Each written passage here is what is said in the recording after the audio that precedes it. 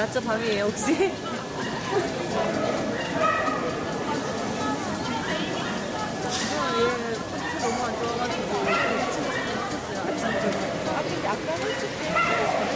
걔, 걔는 남자이고 3개월 3개월 됐어요?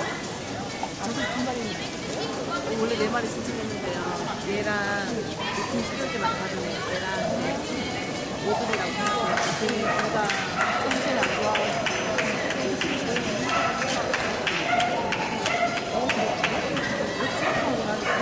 안 떠나서 근데요 저랑 안 같은 생각이 다음 주에 맞기 전에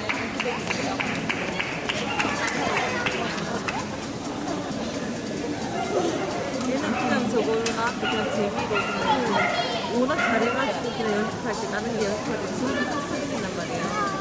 그러고 그러고 왔더니 막상 오니까 안 뛰니까